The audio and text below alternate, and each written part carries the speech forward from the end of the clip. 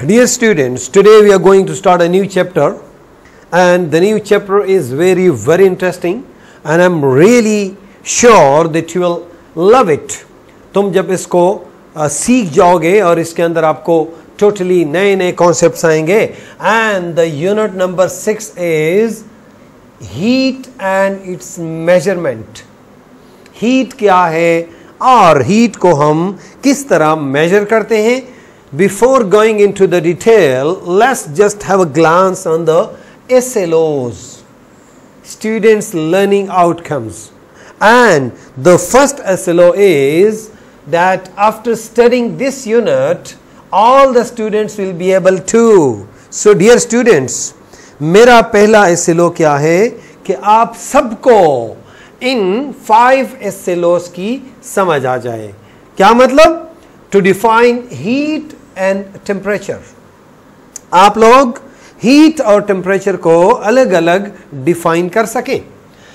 SLO number two is explain the common scales of temperature यानी centigrade and Fahrenheit आप लोग centigrade और Fahrenheit को भी बयान कर सकें। ज़्यादा अच्छा होगा, हम एक और चीज़ मिलाएँगे कि अगर आप केल्विन को भी कर सकें। But the book has given these two uh, scales, centigrade and Fahrenheit. The SLO number three is to draw and label the device for measuring temperature. यानी टेम्परेचर मेजर करने के लिए डिवाइस क्या है थर्मोमीटर ताकि आप लोग थर्मोमीटर को ड्रा भी कर सकें और लेवल भी कर सकें आपको मैं आज डिफरेंट किस्म के थर्मोमीटर दिखाऊंगा और सिखाऊंगा and you will love it and you will enjoy it SLO number four is measure and record the body temperature using a laboratory ther- thermometer and a clinical thermometer. Any these two kinds of thermometer we will discuss in this chapter.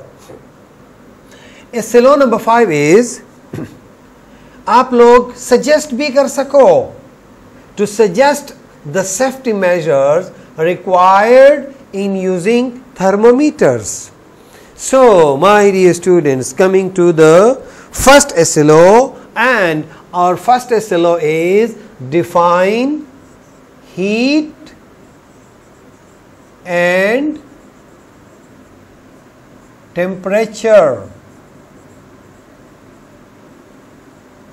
Now, for an instance I am going to ask you मैं आप लोगों से पूछता हूँ कि heat किसे कहते हैं और टेम्परेचर किसे कहते हैं। और इसके लिए मैं एक छोटा सा एग्ज़ाम्पल दूँगा। आज आप बैठे हैं स्प्रिंग के मौसम में स्प्रिंग में जहाँ पे ना सर्दी है ना गर्मी है। कैसे पता चलेगा आपको? जब आपने पंखा भी नहीं लगाया आपने फ़ैन भी नहीं लगाया और आपने हीटर या ब्लैंकेट भी नहीं ओढ़ा। यानी फ़ैन या एसी भी नहीं लगा। और आप रूम में आराम से बैठे हैं मीन्स कि ना आपको गर्मी लग रही है और ना आपको सर्दी लग रही है। तो इसका मतलब क्या है कि आप रूम टेम्परेचर पे आराम से बैठे हैं। नाउ यू टेल मी अगर आपको गर्मी लगने लगे, यानी गर्मियाँ शुरू हो जाएँ और हीट बढ़ जाए, जब हीट बढ़ जाएगी तो तुम लोग क्या करोगे मेरे प्यारे बच्चों? फ़ैन ऑन करोगे या एसी ऑन करोगे? एम आई राइट हाँ और अगर कोल्डनेस आ जाए, क्या हो जाए? कोल्डनेस यानी सर्दी आने लगे तो क्या करोगे मेरे प्यारे बच्चों? या हीटर और या ब्लैंकेट। कैसे करोगे मेरे प्यारे बच्चों? आप लोग रात को सोने के लिए और दिन को भी ठंड से बचने के लिए क्या इस्तेमाल करते हैं? हीटर इस्तेमाल करते हैं या हम ब्लैंकेट और स्वेटर्स या गर्म कपड़े पहनते हैं?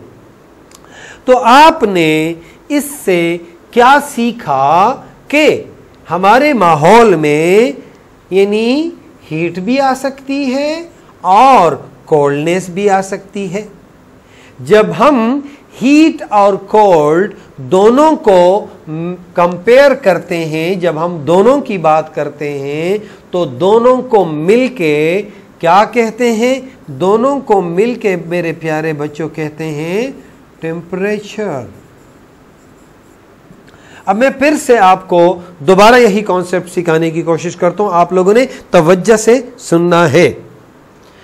तो चलो बच्चों, हम यहाँ पे आराम से रूम में बैठे हैं। ना गर्मी है, ना सर्दी है। और जब ये हॉटनेस बढ़ेगी तो हम क्या कहते हैं कि ये हीट हीट आ रही है। और जब कोल्डनेस आएगी तो हम क्या कहेंगे? कि ये कोल्डनेस अब जब ये दोनों हो तो इसको हम क्या बोलते हैं कि मैं आपसे पूछता हूँ कि टेम्परेचर क्या है? यानी तो अगर गर्मी होगी तो आप बोलोगे, सर, बहुत गर्मी है। फिर मैं पूछूँगा रूम का टेम्परेचर कैसा है? और जब सर्दियाँ आ जाए तो तुम क्या होगे? आज बहुत सख्त सर्दी है। गर्मी को और सर्दी को, दोनों को मेजर करने का नाम क्या है? टेम्परेचर या तुम लोग ऐसे भी कह सकते हो the degree of hotness and coldness is called temperature temperature किसे कहते हैं? किसी जगह का, किसी रूम का, किसी बॉडी का, यानी हॉटनेस और कोल्डनेस दोनों को हम क्या कहते हैं? टेम्परेचर कहते हैं, प्यारे बच्चों। अभी आते हैं छोटे से ग्लांस के लिए किताब को देखते हैं। देन यू विल अगेन किताब को जब आप लोग मेरी एब्सेंस में पढ़ोगे तो आपके लिए ये बहुत क्लियर होगा। Heat and temperature heat and temperature are related to one another ये बहुत रिलेटेड टर्म्स हैं। अक्सर आप लोग गलत हो जाते हैं। मैं आज कोशिश करूँगा कि आपको टेम्परेचर और हीट के बीच जो मेन फ़र्क है, वो क्लियर हो जाए, ताकि आप लोग अगली क्लासेस में बहुत आसानी से इस कॉन्सेप्ट को सीख सकें।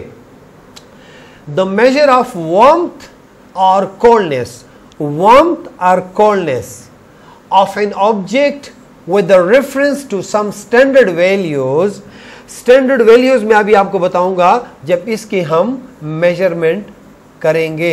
जब हम इसको मेजर करेंगे तो मैं आपको इसका तरीका बताऊँगा। It is written as degree centigrade तो भी आपको बताऊँगा कि इसको हम डिग्री सेंटीग्रेड में भी कर सकते हैं, इसको हम फरनहाइट में भी कर सकते हैं। इसको, ये जो स्मॉल डॉट आपको नज़र आ रहा है, इसको डिग्री बोलते हैं। और इसको केल्वन में भी कर सकते हैं। इसको डिग्री सेंटीग्रेड में भी कर सकते हैं, प्यारे बच्चों। आज आपको बड़ी इंटरेस्टिंग चीज़ें बताऊँगा। अभी आते हैं हीट की तरफ़।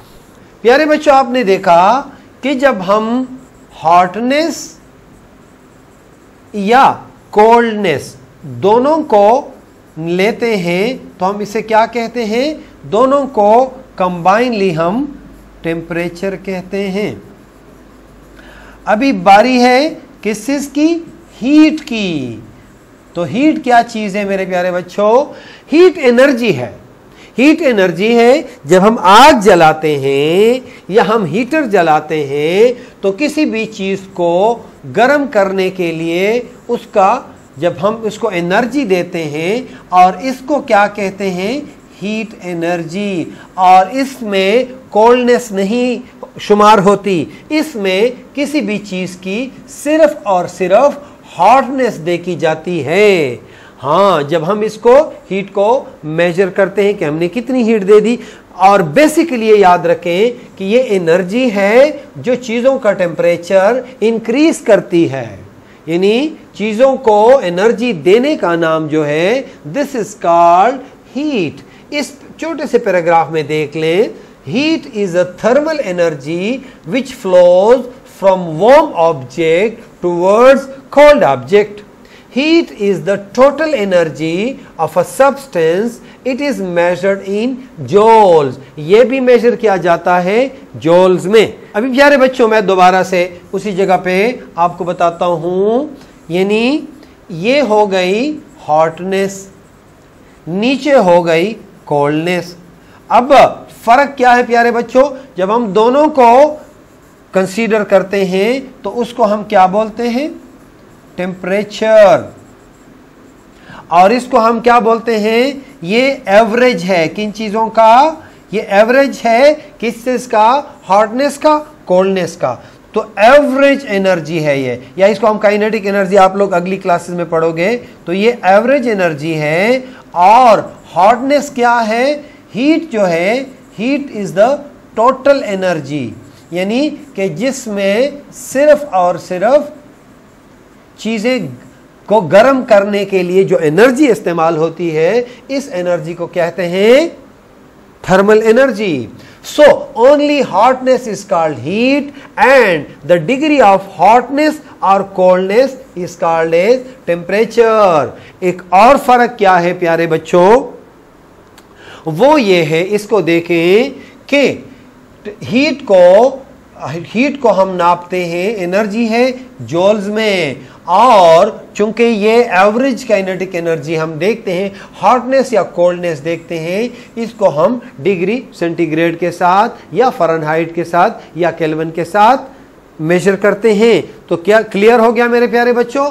Total kinetic energy total energy और एवरेज एनर्जी इसमें हीट में सिर्फ़ हॉटनेस और टेम्परेचर में हॉटनेस और कोल्डनेस दोनों आते हैं। सो so, प्यारे बच्चों मुझे यकीन है कि you have got the concept and you have seen the difference अभी आप लोग डिफाइन भी कर सकते हो इनशाला सो बेस्ट ऑफ़ लक लेकिन उससे पहले बारी है किस चीज़ की? होमवर्क की। और होमवर्क कहाँ से करना है? आप लोगों ने कहाँ से? Yes from the summer pack summer pack निकालो और अपना होमवर्क कर लो। और मैं आपको क्या दूँगा? एक्सलेंट हाँ स्टार भी चाहिए। अगर किसी ने ज़्यादा अच्छा काम किया तो एक स्टार और अगर इससे ज़्यादा काम किया तो डबल और थ्री स्टार्स भी दूँगा। So best of luck my dear students Allah Hafiz.